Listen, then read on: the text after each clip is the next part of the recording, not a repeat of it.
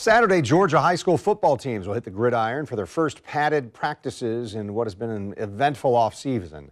Uh, News4JAX sports reporter Jamal St. Cyr explains how the sports officials have been tracking COVID 19 cases since June.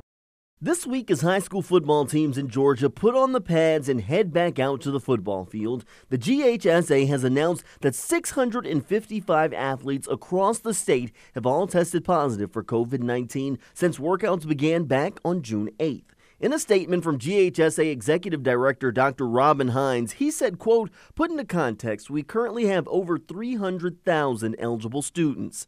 Each school has an infectious disease plan to manage each situation. Every district or school has different circumstances, which makes local control essential. End quote. In Camden County Wildcats head coach Bob Sphire says he thinks the GHSA has done a good job and football can be played safely this season. Coach said he recently had to deal with some of his players being exposed to COVID 19. I know Jamal in our situation, you know, we had a situation come up. Within 24 hours, we had 44 kids that we thought had had any exposure tested within 24 hours. Within three days, we had the test results back. And so all those kids who tested negative were able to come back.